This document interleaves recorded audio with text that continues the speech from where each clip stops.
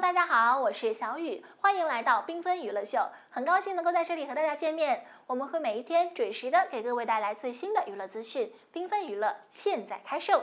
伊能静上节目呀，最爱 Q 的就是自己的公主人设了，甚至还大言不惭的说过公主病的话，我觉得我有资格。那么就让我们来诊断诊断这姐的公主病到底有多严重。公主犯的错都是身边人的锅。最近伊能静采访拉踩队友翻车，口碑急剧下滑。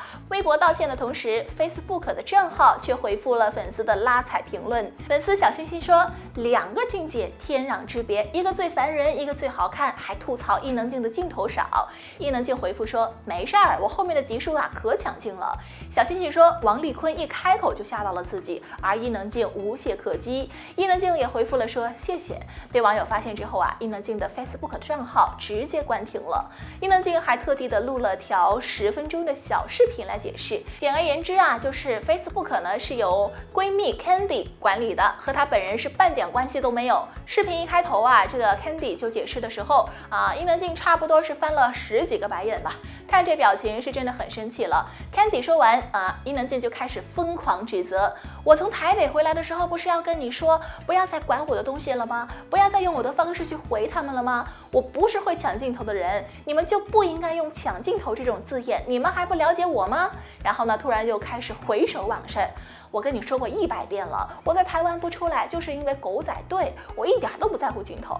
Candy 啊，你知不知道，你只是要用了我的名字，那么就代表我呀。这是 Candy 以我的名义写的，我是背锅的。哎呦，你跟着我十几二十年，你不知道这个事情很严重吗？你陪着我，戴着假发，替我坐上车子，让我从地下室让不让这个狗仔队跟？你不知道媒体到底有多可怕吗？言下就是呃呃，这个媒体把我黑得好惨啊！我真的不知道怎么跟你生气了，因为你照顾过我们家的孩子，照顾过我家的狗。嗯，就是说闺蜜像我的保姆一样呗，我怎么忍心责怪呀？他还说我跟你不一样，我是文绉绉的，而你是很爱开玩笑的，很机车的。拉踩大师呢是又关心的拉踩了啊，他还说你说的那些话呢是我这一辈子都不会用的。再次强调不是我写的哟。巴拉巴拉了一堆之后啊，对面的 Candy 就说了，那你应该也知道的，你相信我呀，我不会害你。然而伊能静瞬间话锋一转，说：“我知道，所以我认了啊。那些黑粉对我来讲没有你重要。”然后两个人呢就开始对着隔着这个电话抹眼泪。伊能静说：“是我倒霉，我认了啦，都是黑粉在移花接木，我真的没有怪你。”嗯。那你前面七分多钟是在干嘛呢？最后呢，还有一个亮点就是背景音里边说，哎呦，又超了十分钟了。看来这段视频呢是不止录了一次啊。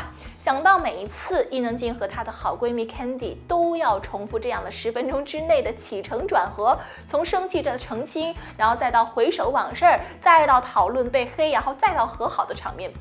真的是不得不佩服伊能静拿过两次金马提名的演技啊！不过姐啊，你不是好久都没有过闺蜜生活了吗？不免让人想起来伊能静被炒了多年的羽扇纶巾读成了羽扇纶巾。自己录音的时候呢，就有感觉到发音不对，但是让助理去查字典，助理告诉自己就是念纶的。总之呢，不仅是要声明是别人的错，还要强调自己早就提醒过了，真的是把自己撇得干干净净的。公主为爱放弃工作，随时玩消失。知名经纪人陈孝志看到最近的伊能静翻车，也忍不住重提了一桩旧事。当年伊能静因为和黄维德的牵手门事件，形象受损，陷入到低潮。当红的时候啊，经纪人想抽成的话，那么就要二十四小时都跟着他。那低谷时期给他接的电影，不去做任何的宣传。陈孝志更直接说啊，伊能静没有感恩。之心，台下台下两个样。侯孝贤拍《悲情都市》的时候，最早呢就找到的是伊能静，结果因为伊能静领导开机一直联系不上，然后才换的新树芬，成就了一部华语电影的经典。而伊能静后来呢，还主动提到过这件事情，认为这是自己为爱做过最勇敢的事儿。当时《悲情城市》已经试过妆了，伊能静突然玩消失，其实啊，就是为了初恋情人，因为她觉得手握一百个奥斯卡，还不如身边有个男人。说的倒是光冕堂皇的，但是不过啊，只是感动了自己。合作伙伴遇上这种随时出尔反尔、不负责任的人，只会觉得倒霉吧。《人民歌王》里面啊，伊能静跑去当评委，因为一直都是跟着选手唱歌的嘛，被网友嘲这个节目呢就变成了伊能静的 TV。导播要求的，嗯，哄我说要表情好，大声就更好了。谁知道声音会放出来啊？这还不够，伊能静呢甚至还让工作室发了一封名为《致观众的一封信》，为了维持形象也是很拼了。伊能静导演的电影《我是女王》，请了宋慧乔、陈乔恩啊，还有邬君梅、窦骁、秦昊等一众知名的影星参演。结果电影上映的票房惨败，还被批是大烂片儿。伊能静一怒之下，直接给恶评的网友发了一波律师函。第一次听说对电影的犀利评论呢，也算是侵权行为。羽扇纶巾一直都是伊能静的痛点。伊能静曾经在微博上面秀才女人设的时候，被燕公子转发重提这档子旧事儿，潮了一波啊！伊能静呢也写了一段小论文来一一的复制回击网友。首先说自己因为家境，高中没毕业，辗转就去日本读书了，中文陌生才犯的错，大家不应该借此嘲笑他。等一下，这和你原生家庭有啥关系啊？不是你自己先卖的十四岁躲在被窝里边看卡夫卡、卡缪、三毛等等的才女人设吗？《花少二》播出之后，燕公子啊预告要写一篇许晴和伊能静决战紫金之巅的文章。啊，谈两个人共同特征呢，就是公主病。结果啊，这篇文章还没写呢，就被伊能静给截胡了。伊能静先之后呢，更是发了一篇律师函要起诉网友。只要有质疑声，伊能静第一个反应就是甩锅，都是别人对自己的恶意大，自己一点错都没有。公主受伤了，硬要贴心伺候。公主要炫耀的时候，从来都不考虑别人的感受。参加综艺《婆婆和妈妈》。伊能静和钟丽缇两家婆婆见面，伊能静说自己老公啊有古老的审美价值，然后就引到了自己四十七岁的高龄，还生了孩子。钟丽缇和婆婆聊天的时候，伊能静的婆婆也跟着附和了两句，而伊能静是直接的白了婆婆一眼，让她别搭话了。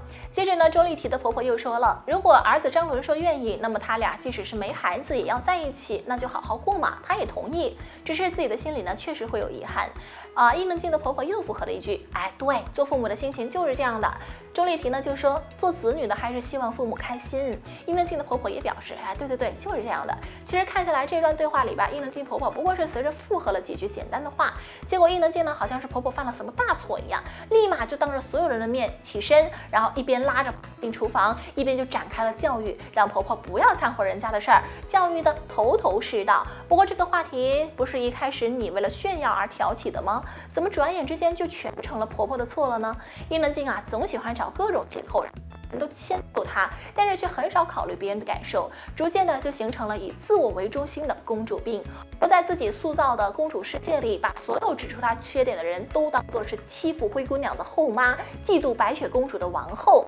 但是其实真正的公主引以为傲的资本，从来都不是公主病。一公主啊，想要得到认可和尊重，那就先从尊重别人开始吧。吃瓜不断，娱乐不停，感谢大家关注缤纷娱乐秀。如果你喜欢我们的频道，那么请给出您宝贵的赞，并且记得订阅我们的同时，不要忘记了点亮订阅右边的小铃铛，这样你就可以在第一时间收到我们的频道内容了。我们下期节目再见，拜拜。